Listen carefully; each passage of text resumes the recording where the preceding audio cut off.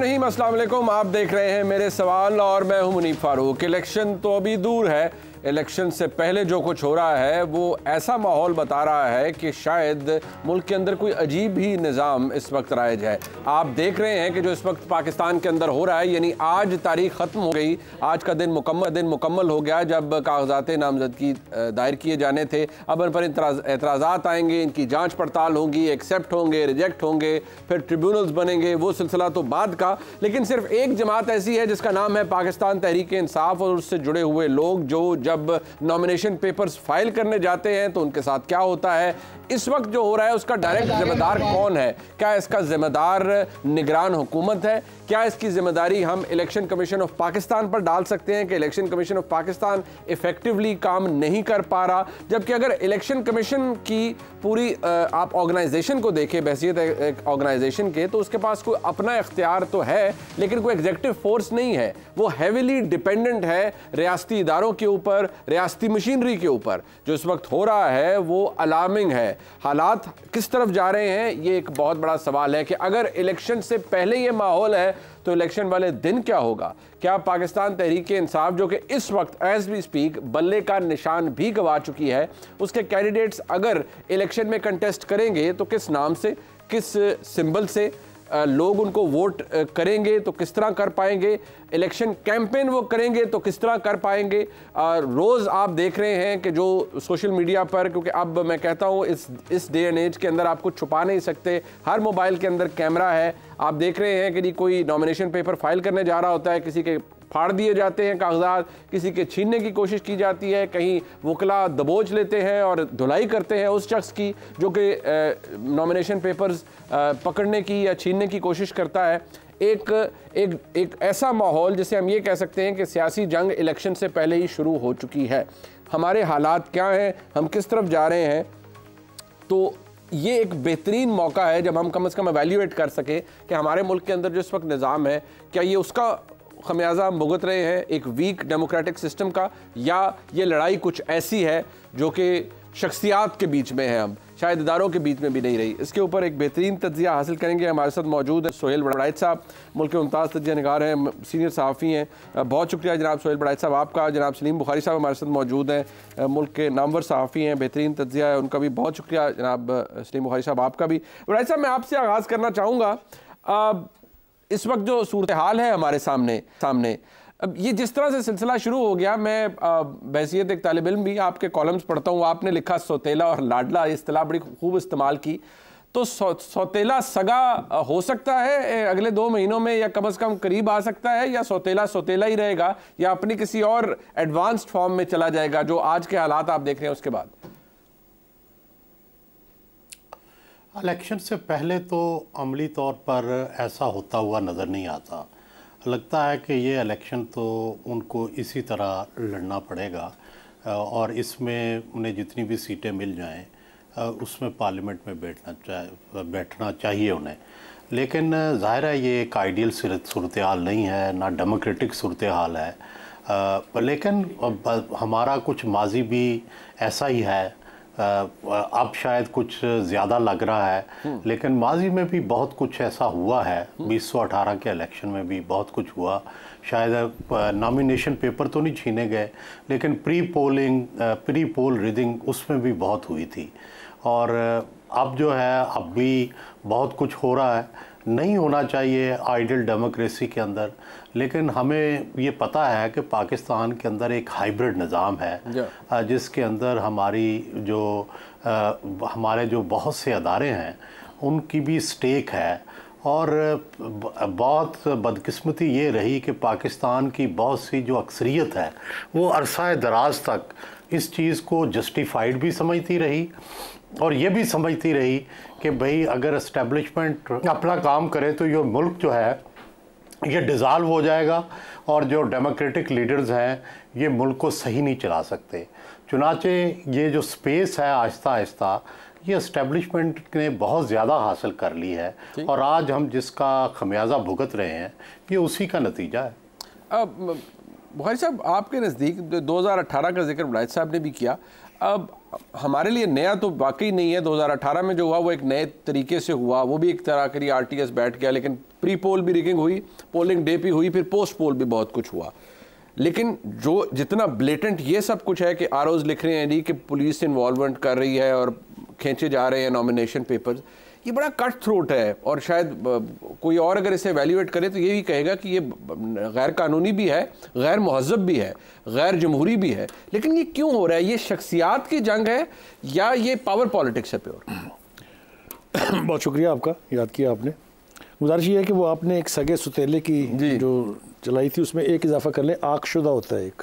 आगशुदा अच्छा। तो ये खान साहब जो हैं अच्छा और उनकी पार्टी आग की हुई पार्टी है। आगशुदा पार्टी। जो कानूनी तौर पे जो आगशुदा हो जाते हैं फिर उनकी वापसी बहुत मुश्किल होती है। हमने कभी सुना नहीं है कि आग किया वो अखबार में भी छप जाता है ना। तो उसकी खबरें शबरें छप जाती हैं हाँ बिल्कुल तो इस एक तो ये मंजर क्लियर होना चाहिए। दूसरी बात यह है कि इस वक्त जो तरीके इंसाफ का बाकी मानदा हिस्सा है उसमें ना इलेक्टेबल्स हैं जो पार्टी को एक यानी उसकी मौजूदगी का एहसास दिला सकते थे। वो नए घोंसलों में बस गए जिस स्पीड से आए थे उससे ज़्यादा स्पीड से उड़ के चले गए नए घोंसलों पता नहीं उनका बनेगा क्या करेक्ट दूसरी जो इसकी लीडरशिप थी जो हॉक्स थे वो याजेलों में या मफरूर है। बाकी बचे हैं बुकला और वो लोग जो अभी घरों में बैठे हुए हैं उनको ये अंदाज़ा नहीं हो रहा कि हमने बाहर निकल के वोट डालने जाना भी है कि नहीं। वकला जो है उनको इलेक्टेड प्रोसेस का कोई तजर्बा नहीं और अदालतों में केस लड़े हुए हैं हम्म। लेकिन कभी फ़ील्ड में आके जो उसकी साइंस है पूरी पूरी इलेक्शन मशीनरी जो है जो उसकी उसका उसका कोई तजर्बा नहीं है। हम्म। और दूसरी बात यह है कि अनफॉर्चुनेटली वकला के जो धड़े हैं उनमें भी इतफाक़ नहीं है। यानी मैं मिसाल देने बैठूँगा तो बहुत वक्त गुजर जाएगा। शेर अफजल मरवत सर किसी को लीड कर रहे हैं हामिद खान साहब पुराने को लेके हाँ, बैठे हुए हैं शाहीन साहब नई लाइन लेके बैठे हुए हैं एंड सो ऑन तो इस किस्म के कड़मास में जिसको कहते हैं ना पंजाबी ज़ुबान में दो बड़ी पार्टियों का मुकाबला करना और इलेक्शन में फिर ऐसी पोजीशन हासिल कर लेना जो पहले भी खुद से नहीं आई थी वो उसके बारे में किसी रॉकेट लेकिन अब ये दावा है ना कि अब मकबूलियत सबसे ज़्यादा है बाकी देखिए पहली बात तो ये है कि ये मैं और वड़ैश साहब बहुत सीनियर आदमी है वो भी जानते हैं कि जलसों में जाने वाले लोग वोटर्स नहीं होते कभी भी किसी के भी जलसे में जाने वाले इनके नहीं सिर्फ़। दूसरी बात यह है कि ये वोटर्स को घर से उठा के वो पोलिंग स्टेशन तक लाना भी एक पूरी रॉकेट साइंस है। ऐसे ही ऐसे ठीक है? खास तौर पे वो नहीं आता हाँ, उसके पास से वो नहीं आएँगे। ठीक है ठीक दूसरी बात ये कि जो आपके फैसिलिटेटर थे वो अब आपके विलन है। हम्म। वो किसी ने विलन नहीं बनाया है ना उन्हें कोई नई हीरोइन मिली है। हम्म। वो तो तलाश कर रहे हैं ना कौन हम्म। बनेगी दुल्हन। तो ये ये कसूर भी आपका अपना है। अच्छा। ये भी कहते हैं ना कौन नया हीरो बनेगा? हीरो हीरोइन एक ही बात है। हाँ। फ़िल्म में दोनों leading role leading role anyway having said that this is very unfortunate ये बड़ी बदकिस्मती की बात है हम्म। कि जो कुछ इस वक्त ग्राउंड पे हो रहा है। ये कुछ करने की ज़रूरत नहीं है। बहुत सारे तरीके ईजाद हो चुके हुए हैं। आपको पता है 2018 में कुछ सोच सकता था कि इस तरह भी कभी इलेक्शन हो सकता है? हाँ। जैसे 2018 में तो पूरा आरटीएस ही बैठ जाए। ठीक है। आर हाँ। आरटीएस बैठ जाए तो पोलिंग स्टेशन एजेंटों को उठा के बाहर फेंक दे कुंडे लगा ले। हम्म। तीन तीन दिन तक रिज़ल्ट ना दें आप। ये सारा कुछ भी तो नया था ना। हम्म। पहले नहीं हुआ था कभी। एनी मैं समझता हूँ कि ये कोई किसी का बेवकूफ़ाना फैसला है कि आप लोगों से उनके पेपर छीन लें। और भैया आप पेपर रिजेक्ट करा देना अगर आपने कार वारदात ही डालनी है। आप रुकवा दें उसमें पचास इतराज़ निकाल लें आप उसको बेअपना तरीके और ये बहुत भूडा तरीका है। ये जो हो रहा है आप जो हो। रहा है बहुत भूडा है कंडेमेबल है नहीं होना चाहिए। मतलब ये तो जो भी कर रहा है है। जो भी कर रहा है हम्म। गैर मौजम नहीं वो पूरे इलेक्शन की क्रेडिबिलिटी को ज़ीरो कर रहे हैं। ऑलरेडी ऑलरेडी हो रही है इलेक्शन तो भी बहुत दूर है। उससे पहले ही लोग जो हैं जो भी सुनता है जो भी देखता है इसमें मुझे नहीं पता कि कितने जेनवन वाक़ात हैं और कितने मेडअप हैं। हमेशा होता है ये। हम्म। लेकिन जिस तरह के वाक़ात हम देख रहे हैं हम्म। ये तो बहुत भूडा तरीका है। जिसने भी किया है जो भी इसका मास्टरमाइंड ऑथर है वो बहुत बुरा ऑथर है। और इससे क्रेडिबिलिटी तो ज़ीरो हो ही रही है नुकसान होगा बाकी पार्टियों का भी। अच्छा बट बट बड़ाई साहब ये फरमाइएगा ये जो हो रहा है सर कि इस तरह ये नॉमिनेशन पेपर फाड़ने या खींचने वाला बात मैं इसके ऊपर इसलिए फोकस कर रहा हूँ आपका तजर्बा और बुखारी साहब का बहुत ज़्यादा है एजुकेट भी कीजिएगा कि ये शायद इस तरीके से अगर होता शायद सोशल मीडिया नहीं था तो रिपोर्ट नहीं होता था बट ये क्या डेस्परेट मेजर्स हैं? ए, आप इसको इस तरह से देखते हैं या ये एक प्रोसेस है जो कि चल रहा था और उसका उसके अंदर ये भी स्टेज आनी थी? मेरा ये ख्याल है कि होता यह है कि जब इस तरह का किसी भी शख्स के ख़िलाफ़ हमारा हमारी स्टेट होती है तो उस वक्त फिर उसको जो है नीचे तक जो मैसेजेस जाते हैं वो बड़े ब्रूटल मैसेजेस होते हैं। और फिर उनको रोकना जो है बड़ा मुश्किल हो जाता है बड़ा वक्त लगता है। मुझे याद है कि पीपल्स पार्टी के ख़िलाफ़ जब ये हो रहा था तो उनकी हुकूमत भी आ गई थे तो कई साल लग गए थे उनके केसेस ख़त्म होने में उनके मामला ठीक होने में। तो अब भी ऐसा ही लग रहा है कि जो है आप देखें ना कुछ लोगों के पेपर जमा हो गए हैं। ठीक है और वो भी बड़े पीटीआई के अहम लोग हैं जिनके जमा हो गए हैं। और कुछ लोगों के फाड़े जा रहे हैं। तो अब ये समझ नहीं आ रही कि कौन ये तफरीक कर रहा है, कौन ये फैसले कर रहा है कि भाई इसके फाड़ने हैं, इसके जाने देने हैं।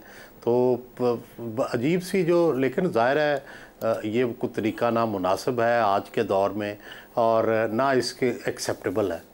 बट बड़ाई साहब, ये फरमाइएगा कि ये जिस स्टेज पर हम चले गए हैं, क्या इलेक्शन के बारे में ऑलरेडी कहा जा रहा था? एक ये इससे चिड़ है मुस्लिम लीग नून को अगर कोई कहे कि मियाँ नवाज़ शरीफ साहब इस वक्त इस्टेब्लिशमेंट के लाडले हैं या वो बारह जारी बात है, पूरी पाकिस्तान मुस्लिम लीग नून इस बात से चिड़ खाती है।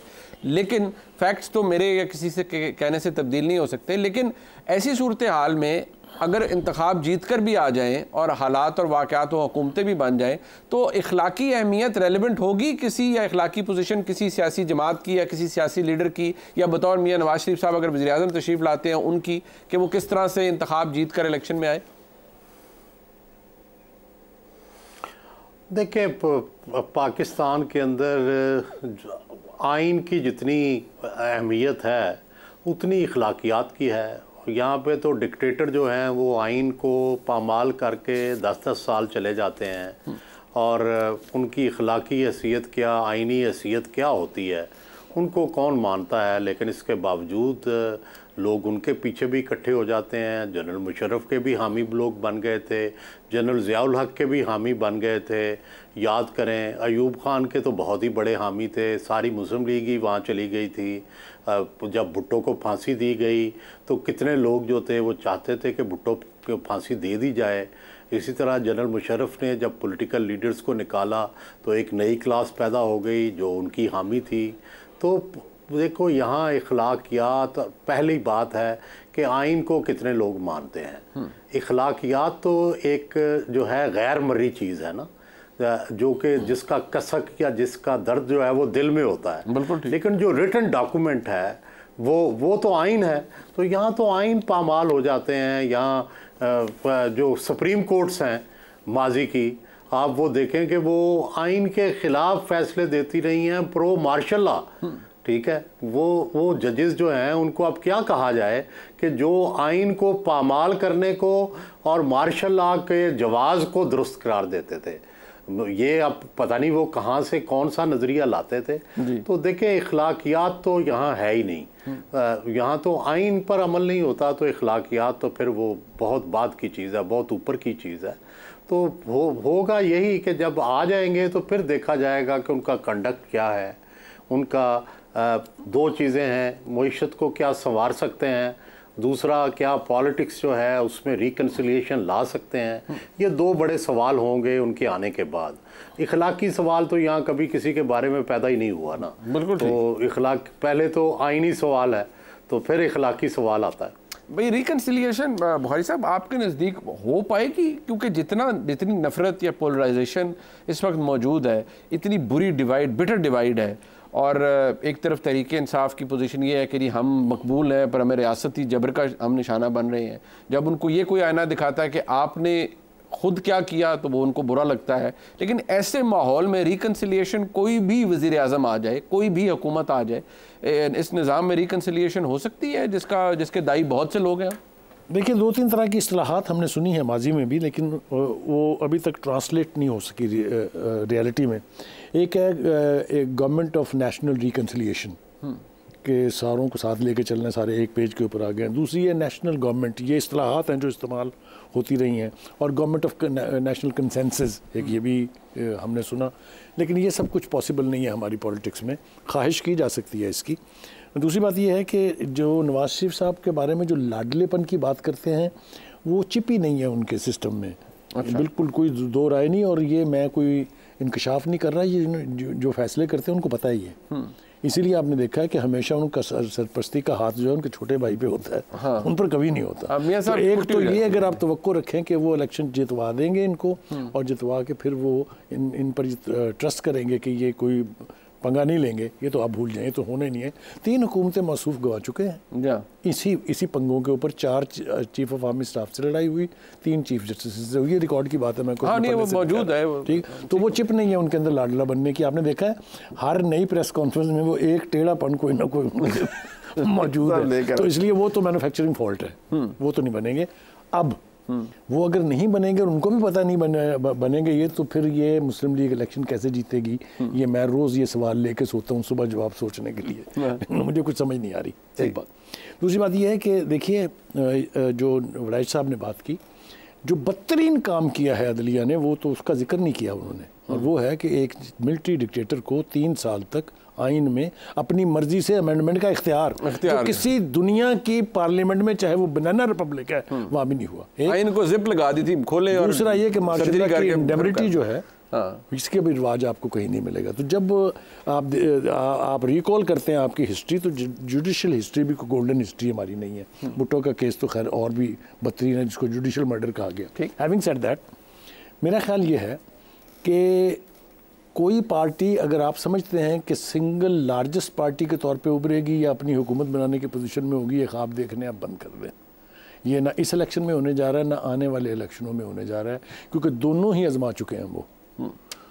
जो जिस तरीके से भी मेजोरिटी दिलवाई गई थी लेकिन हुकूमत तो बनी ना खान साहब की। फिर उसका क्या नतीजा निकला? उनके हक में। बाकी क्या काम किया उन्होंने कोई नहीं किया है वो तो छोड़ दें।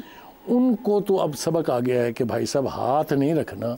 इनको इस काबिल ही ना छोड़ें कि ये वो वाला हाल कर सकें जो खान साहब ने किया। अच्छा ये इंपॉर्टेंट फैक्टर है बट एक सवाल जो कि हम सब के जहनों में पाकिस्तान तहरीक इंसाफ बल्ले का निशान गंवा चुकी है। मैं ज़रा इस पर बोलना चाहूँगा कि इसमें पाकिस्तान की अदलिया किस हद तक इंटरवीन कर सकती है और जो इस वक्त इस्टेब्लिशमेंट पाकिस्तान के अंदर बहुत ताकतवर है और जो इस वक्त पूरी तरीके इंसाफ का नैरेटिव और नज़र भी आ रहा है कि तरीके इंसाफ इस्टेब्लिशमेंट की गलत साइड पर खड़ी हुई है और बहुत कुछ फेस भी करी है। उस पर बात कर लेते हैं, एक मुख्तर से ब्रेक के बाद मैं साथ फिर आपको खुश आमदेद कहते हैं साहब ठीक है, हम मैं, हम सब भी दुआ करते हैं कि मुल्क में इंतबात हो जाएँ। और ये भी दुआ है कि साफ़ और शफाफ और शफाफ हो। ख्वाहिश तो हमारी सबकी यही है। बट सवाल ये है कि जिस तरह का बहरान आ जाए, इलेक्शन भी हो जाते हैं। आपने फरमाया रिकन्सिलियेशन कोई कर पाता है, नहीं, इकनॉमिक टर्न अराउंड होता है, नहीं। लेकिन अगर ये जो माहौल आ जाए कि एक एक तूफ़ान बरपा है और एक जमात कह रही है कि भाई ये सब कुछ हो रहा है और ये रियासत के बहस पर सब कुछ हो रहा है, कुछ कहीं पेपर छीने जा रहे हैं, कहीं ये सब कुछ हो रहा है तो जो रिज़ल्ट आएगा इलेक्शन का क्या हम वही सब कुछ देखेंगे या उससे भी कोई बदतरीन फॉर्म आपको आप एंटिसिपेट कर रहे हैं कि 2024 के इंतबात के नतीजे में तहरीक इंसाफ की जानब से एक नया अप्रोर आएगा कि ये बाकायदा तौर पर मैनेज इलेक्शन थे और बड़े बड़े ब्रूटल तरीके से कराए गए। नहीं देखें अल्टीमेटली तो सैनिटी ही प्रवेल करती है। हम माजी में देखें कि बहुत से पार्टियाँ जो है, हम जज्बाती तौर पर रियासत के ख़िलाफ़ हुई। पीपल्स पार्टी के एक धड़े ने अलमुर्तज़ा बनाई अलजुल्फ़कार बनाई मुर्तज़ा भुट्टो ने। हम्म। लेकिन फिर अल्टीमेटली सैनिटी प्रवेल की और डेमोक्रेटिक रास्ते से ही पीपल्स पार्टी जो है बरसर इकतदार आई। हमने देखा कि नून लीग में भी बाज़ लोग इंतहा की हद तक गए लेकिन फिर हमने देखा कि वो रिकन्सिलियेशन की तरफ़ आए। और रास्ता उन्होंने इस्टेबलिशमेंट से खोला। अब पाकिस्तान के अंदर जो है, आप सियासी जमातों को इस चीज़ का एहसास होना चाहिए, पीटीआई को भी एहसास होना चाहिए कि या तो वो कोई इनकलाब ले आते या इनकलाब आ जाता। उस दिन ज़ाहिर है नौ मई को जो कॉल दी गई थी उसमें इतने लोग नहीं निकले कि जितने इनकलाब के लिए निकलने चाहिए थे। और फिर जो वायलेंस हुई वो तो किसी भी सियासी जमात को सूट नहीं करती। अब जब वो तब्दीली नहीं ला सके तो उन्हें भी ये रियलिटी अंडरस्टैंड करनी पड़ेगी कि पाकिस्तान में आपको अगर सियासत करनी है अगर पाकिस्तान में हुकूमत लेनी है तो you have to live and let live आपको इस्टेब्लिशमेंट को भी स्पेस देनी है और अपनी स्पेस भी लेनी है। एक आपने ऐसा रास्ता निकालना है, जैसे नवाज़ शरीफ, बेनज़ीर भुट्टो, आसिफ जरदारी, ये सारा जिस तरह रास्ता निकालते रहे हैं, वो भी इन मुश्किल से गुजरे हैं। वो भी हर वक्त, हर हर कोई जो है, वो सतीलेपन का शिकार हुआ है। ठीक है? तो अब क्या इमरान खान जो हैं या खिलाड़ी जो हैं, वो इस चीज़ को समझेंगे, इससे सबक लेंगे? देख या तो देखें कोई भी बंदा जो है पाकिस्तान के अंदर कोई भी सियासी जमात ना मुसल्ला है ना उसके पास इतनी ताकत है कि वो पाक फौज से लड़ सके। हमने देखा कि दहशत गर्दों को भी उन्होंने शिकस्त दे दी। तो आम सिविलियंस तो ज़ाहिर है उसका मुकाबला नहीं कर सकते। तो इसलिए इस चीज़ का इदराक करना चाहिए कि रियासती अदारों से लड़ के नहीं मुजाकरात करके उनसे मसालियत करके रास्ता बनाया जाता है। यही हमें तारीख का सबक मिलता है, यही सियासत का सबक है। भाई साहब हमने देखा, उमर अता बंदयाल साहब जब चीफ जस्टिस रहे तो बड़ा एक एक माहौल था कि बड़ी उन पर भी कहा जाता था कि सहूलतकारी की जाती थी। इमरान खान साहब के लिए बड़ा नरम गोशा था। अब तहरीक इंसाफ को हक में इमरान खान साहब को बेल मिली साइफर केस में और रिड्रेसल्स हो रहे हैं सुप्रीम कोर्ट से तो फिर भी तनकीद मुस्लिम लीग नून सुप्रीम कोर्ट पे ही कर रही है। हालाँकि बड़े इंडिपेंडेंट जजेस हैं जो जो ये फैसला कर रहे हैं। बट सवाल ये है कि बल्ले का निशान Tehreek Insaf as we speak गवा चुकी है। तहरीक इंसाफ के लिए सैनिटी प्रिवेल कराने के लिए या at least level playing playing field के लिए आपको लगता है अदलिया इंटरवीन करेगी कुछ मामला में? और अगर करेगी तो क्या उससे इदारों का टकराव हो सकता है? क्योंकि इक्वेशन तो बड़ी सादा हो जाती है उसमें। पहली बात तो यह है कि अब अदलिया वो अदलिया नहीं रही है। हम्म। ना ये खोसवी है ना साकबी है ना बंदयाली है ये तो एक और अदलिया है। ये अदलिया क्या रास्ता इख्तियार करेगी वो तो अभी देखना बाकी है क्योंकि कड़ा वक्त तो अब आने वाला चीफ जस्टिस साहब ने अपना इंटेंट तो ज़ाहिर कर दिया उन्होंने अपनी इंटेंशन ज़ाहिर कर दी है खास तौर से दो बड़े केसेस को लाइव दिखा के लोगों से कि हमारा अपना कोई एजेंडा नहीं है। हम्म। ये भी पहली दफ़ा हुआ है हम्म। पहले नहीं हुआ कभी। तो तो हम कर सकते हैं कि supreme court will play will not play foul जिस तरह से सुप्रीम कोर्ट इस्तेमाल हुई है। हम्म। पिछले पाँच साल के अंदर उसकी भी कहीं मिसालें नहीं मिलती। जिस तरह मियाँ नवाज़ शरीफ साहब को फारिग करेक्ट वी एक्सपेक्ट कि ऐसा ना हो। ना हो लेकिन जहाँ तक ताल्लुक खान साहब का है अगर कोई ये तो कर रहा है या किसी को ये उम्मीद है हम्म। कि वो दोबारा फिर सही रास्ते पर आके और सही मेन स्ट्रीम पॉलिटिक्स का हिस्सा बनेंगे ये आप भूल जाएँ। अब अभी एब्सोल्युटली ये आप भूल जाएँ। उनको जो यकीन दिला दिया गया है कि आप अल्लाह के ख़ास बंदे हैं अल्लाह आपसे ख़ास काम लेना चाहता है आप रियासत मदीना के वाली हैं। वो तो इनको किसी ये तो कीड़े मकोड़े हैं। हम्म। आपको पता नहीं है जब आप एक सियासतदान ये कहे मैं किसी को छोड़ूँगा नहीं सब जेलें भर दूँगा मैं मैं किसी से बात नहीं करूँगा इससे बेहतर है कि मैं मर जाऊँ। Who. Is gonna trust such a person मेरा ख्याल ये है कि अगर लोग ये तो कर रहे हैं कि ये जो 2024 का इलेक्शन है जनवरी का इसमें खान साहब फिर एक कुत बन के उभरेंगे तो भूल जाएँ। He will have to wait for a उभरेंगे या उभरने नहीं दिया जाएगा? मतलब आइदर वे इधर वे आइदर वे बात एक ही है। But I towards the end आपके नज़दीक ये जो एक बड़ी कुर्बत रही इमरान खान साहब की आपको पता है मिसाली मामलात और हालात रहे बाजवा साहब की इस्टेब्लिशमेंट के साथ वक्त बदल गया शख्सियात बदल गई। क्या इमरान खान साहब के लिए in all times to come बहुत कुछ बदल जाता है but with this dispensation and with जो पर्सनैलिटीज़ मौजूद है इमरान खान साहब के लिए कम बैक का रास्ता है या कोई रिप्रोचमा हो सकता है between him and the establishment जी देखिए रिप्रोचमा तो हमने देखा कि होते रहे हैं पार्टियों के पीपल्स पार्टी का भी हुआ नून का भी हुआ हम्म। लेकिन तहरीक इंसाफ जो है इसमें थोड़ी लचक नहीं है हम्म। जो कि लचक होनी चाहिए सियासी जमात के अंदर Correct. और अगर ये लचक दिखाएँगे तो डेफिनेटली रास्ता निकलेगा बदकिस्मती ये है कि जो ना इस्टेब्लिशमेंट के हवाले से लचक है उनमें और ना सियासी जमातों के हवाले से लचक है। तो दूसरी तरफ़ ये है कि इस्टेब्लिशमेंट जो कह रही है उसके बारे में भी इन्हें सोचना चाहिए और गौर करना चाहिए। मसलन सबसे पहला जो इस्टेब्लिशमेंट का जनरल बाजवा की इस्टेब्लिशमेंट का और मौजूदा इस्टेब्लिशमेंट का इनका एतराज़ है इकनॉमिक मिसमैनेजमेंट ठीक है? और ख़ान साहब और उनकी पार्टी समझती है कि हमने इकनॉमिकली बेस्ट मैनेज किया है। अब देखिए कितना इसमें तजाद है कि एक तरफ़ वो ये कह रहे हैं कि ये डिफ़ॉल्ट की तरफ़ ले जा रहे थे और ख़ान साहब और उनकी पार्टी ये कह रही है कि नहीं, हमने तो फलाह बहबूद के जो है वो जनाब दरिया बहा दिए थे नहरें दूध की नहरें बहनी शुरू हो गई थी। तो जब इतना तजाद हो तो फिर कैसे आप इकट्ठे बैठ सकते हैं? तो इनको करीब लाने की सोच जो है पीटीआई को भी अपनी सोच करीब लाने की देखो अगर तो ये बागी पार्टी बनना चाहती है तो पाकिस्तान में तो बागी पार्टियों की गुंजाइश नहीं है। वहाँ तो लड़ाई होती है फिर मार कुटाई होती है। और अगर वो एक सियासी पार्टी बनना चाहते हैं तो ज़ाहिर है उनके लिए कुछ उनको सी करने चाहिए। मैं तो खान साहब से 9 मई से पहले भी ये कहता था कि आप सी करें। आप वन साइडेड सी करें। और जब तक वो सी नहीं करते कॉन्फिडेंस बिल्डिंग मेजर्स नहीं करते मुझे नहीं लगता कि उनकी पार्टी जो है मासवाए एक, एक एक है एक रास्ता है कि कल को नून की लड़ाई हो जाए तो फिर शायद गुंजाइश निकल आए पीटीआई की। वो में इमरान खान साहब भी इंतज़ार करें कि मियाँ साहब का नमा फटा बुहारी साहब कदों होता है? असल में क्वालिटेटिव डिफरेंस जो है वो उसको बयान करना बहुत ज़रूरी है। माजी में यकीनी तौर पर जो बाख्तियार इस्टेब्लिशमेंट है या मिल्ट्री इस्टेब्लिशमेंट साफ़ लफ्ज़ इस्तेमाल करना चाहिए। उससे इख्तलाफात लफ्ज़ों तक और बयानी तक होते थे। उनमें से कोई एक मिसाल नहीं है कि वो चढ़ दौड़े हों मियाँ वाली के एयरबेस के ऊपर या कोर कमांडर के घर के ऊपर या अ, अ, ये जो नौ मई का बोझ है ना ये पोटली भी सर से उतारते उतारते वक्त लगेगा। वक्त लगेगा। आपको लगता है ये हॉन्ट करता रहेगा? मैं अपने तमाम यानी जनाब बड़ायत साहब का और सलीम का और सलीम बुहारी साहब का शुक्रिया अदा करता हूँ जी। कोशिश हमने की एक बेलाग सा तजिया आपके सामने रखा जाए संगीन है कशीदा है हम उम्मीद कर सकते हैं और दुआ भी कर सकते हैं कि सैनिटी प्रवेल हर जगह करे। हमारे मुल्क में इंतबात होने जा रहे हैं और वो शाफ, साफ़ और शफाफ तरीके से हों। अमन अमान की सूरत हाल बरकरार रहे। प्रोग्राम में एक ब्रेक शामिल करते हैं। जी, वापस आएँगे। पाकिस्तान मुस्लिम लीग नून के हवाले से कुछ सवाल हैं जो कि आपके जहनों में भी हैं, मेरे जहन में भी हैं। हम बात करेंगे सैनिटर इरफान सदीकी साहब से। पास आते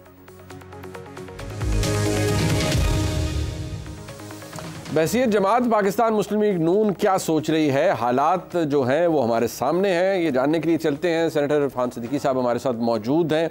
किसी तारुफ के मोहताज नहीं हैं। बहुत शुक्रिया इरफान सदीकी साहब। सर सबसे पहले तो ये फरमाइएगा अब ठीक है मा, माजी में अदलिया में अदलिया के बहुत से फैसलों के ऊपर तनकीद होती रही है। जब वो फैसला आ जाता है तो पब्लिक डॉक्यूमेंट होता है।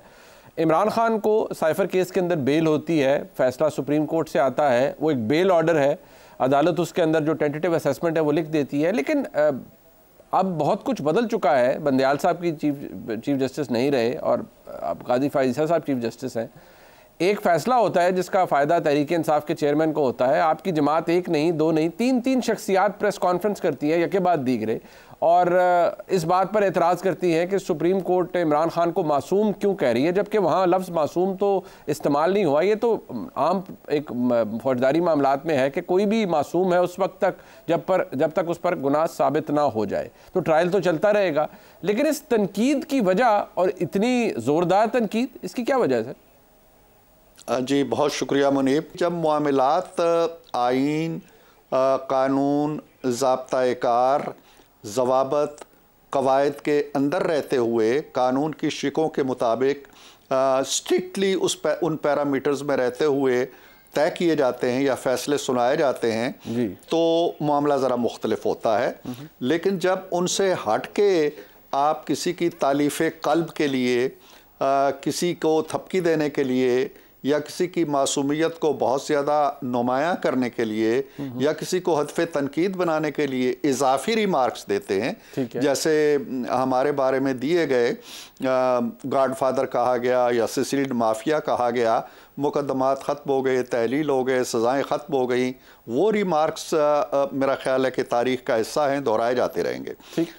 इसी तरह मेरा ख्याल है कि इस मामले में भी एक जज साहब के जो इजाफी नोट है उसके अंदर मामलात को बज़ाहिर उन्होंने ये कहा है कि माजी में ये होता रहा है लिहाजा ये प्रैक्टिस ख़त्म की जाए। ये जो एक जनरल जनरल उसूल बना लिया गया है ना कि जो हुसैन शहीद सोरवर्दी से लेके नवाज़ शरीफ तक जो कुछ हुआ वही कुछ शायद इमरान खान के साथ हो रहा है।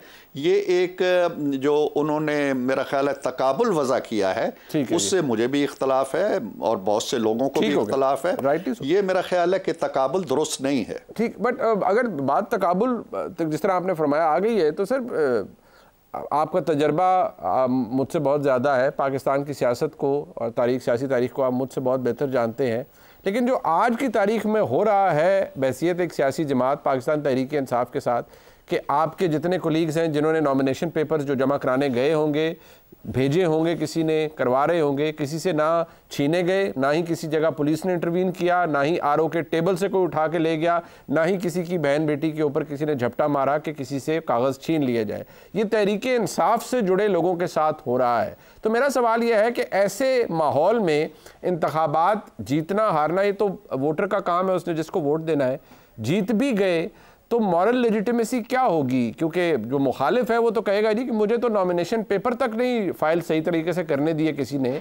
और जो बेनिफिशरी थे, वो मियाँ नवाज़ शरीफ बने और उनकी जमात बनी और इकतदार उनको मिला। जैसे ये खुला पता है सबको कि मियाँ नवाज़ शरीफ को हटवाया गया वज़ी अजम की कुर्सी से, उनको जेल में डलवाया गया इमरान खान साहब को लाने के लिए। तो अगर तो ये रिवर्स इंजीनियरिंग हो रही है तो फिर, जितना नुकसान इमरान खान को हुआ उतना नुकसान फिर मियाँ नवाज़ शरीफ को भी होगा, इखलाकी तौर पर। जो तहरीक इंसाफ है, वो तसर आफरीनी में या बयानिया बनाने में या एक ख़ास इम्पेक्ट लोगों के जहनों में सब्त कर देने में बड़ी महारत रखती है।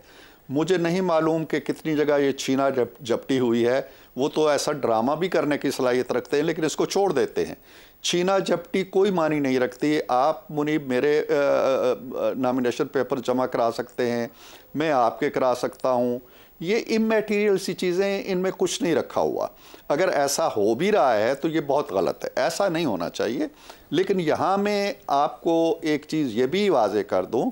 एक शख्स जो रात को जीएचक्यू पे हमला करता है और कलाबाला आसार पे हमला करता है और कोर कमांडर हाउस जलाता है।